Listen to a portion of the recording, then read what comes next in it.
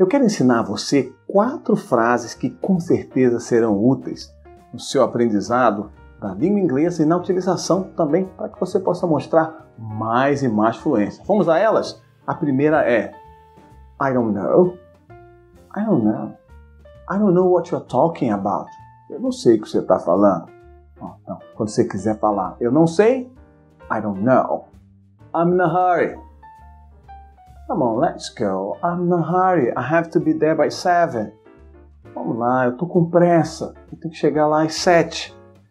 Quer falar que está com pressa? Então utilize I'm in a hurry. Are you sure? Are you sure he's your brother? Você tem certeza? Não. Tem certeza ele é teu irmão? Quando você quiser falar para uma pessoa se ela tem certeza, não. Utilize Are you sure? E uma outra, I have no idea. I have no idea. Eu não faço a mínima ideia. E aí? O que você achou dessas quatro expressões, dessas quatro frases?